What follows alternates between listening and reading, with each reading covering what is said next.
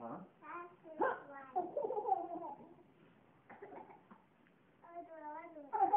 Ready? I wanted to go watch some more.